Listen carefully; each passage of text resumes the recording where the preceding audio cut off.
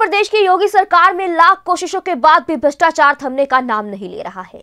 अधिकारी खुले में रिश्वत ले रहे हैं, लेकिन ऐसे कर्मचारियों पर कोई भी कार्यवाही नहीं हो पा रही है। ऐसा ही मामला छाता तहसील का है, जिसमें खुलेआम राजस्व विभाग के कर्मचारी रिश्वत ले रहे हैं।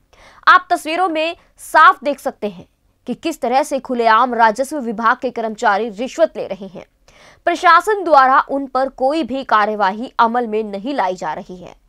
पेगांव गाँव पर तैनात राजस्व विभाग से लेखपाल चंद्रपाल से जब भी कोई किसान अपने खेत की खसरा बनवाने के लिए आता है तो वह उनसे महज पाँच सौ रुपए माँगता है। अन्यथा वह खसरा बनाकर नहीं देता। मजबूरन किसान को ऐसे लेखपाल को सेवा शुल्क देना ही पड़ता है।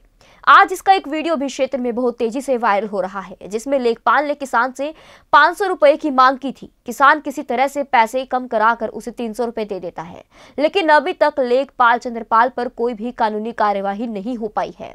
जब ये मामला जिलाधिकारी की जानकारी में आया तो बताया कि आप लोगों द्वारा संज्ञान में आया गया है, जिसकी जाँच भी कराई जाएगी। ऐसा मामला पाया जाता है तो कार्रवाई होगी। मथुरा से संवाददाता जाहिद सैयद की रिपोर्ट। होगा? आप हमें ये बताएँ नाम क्या आपका? बता तो दो कितने रुपए लिए? और कहाँ पे लेखपाल हो आप? मैंने कोई पैसे नहीं लिए। नहीं लिए तो फिर आप कैमरे से मुँह क्यों छुपा रहे हैं? ये बताएँ हमें। मुँह क्यों छुपा रहे हैं?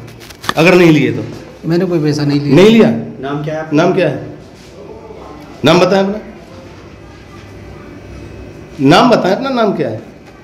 क्या बात है जो? है क्या नाम है आपका? मानवेंद्र। तो बताएँ आपके यहाँ पे जो पटवारी हैं वे कौन हैं?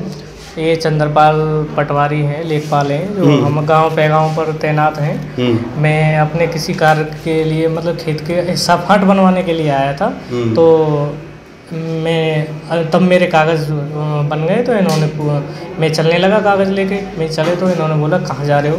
मैंने कहा बताओ तो अच्छा सेवा पानी कुछ मैंने क्यों? तो बोल रहे अरे मथुरा से आते हैं तो किराया भाड़ा लगता है तो बताएँ। तो कितने तब पाँच सौ रुपये। पाँच सौ। अरे कराया आपने? एक ही बनवाया था। एक ही के? हम्म, अच्छा। यानी आपसे पाँच सौ रुपया लिए गए पाँच सौ रुपये मांगे थे फिर मैंने कि चलो ऐसा है मैंने कुछ कम कर लो मैंने दो सौ ले लो। हम्म। नहीं मैंने दो सौ में नहीं मांगे फिर तीन सौ रुपये लिए इन्होंने 300 रुपये? हाँ सर गाँव पैगांव पे एक लेखपाल है चंद्रपाल जिनका पैसे लेते हुए एक वीडियो वायरल आप एस डी एम से बात करिएगा उनको बताया गया वो देख करके करेंगे। उनके नियुक्त प्राधिकारी हैं। जिस तरह की कोई शिकायत है तो निश्चित रूप से उनके खिलाफ कार्रवाई होगी। जेबीडी बैंकवेट्स लाए हैं।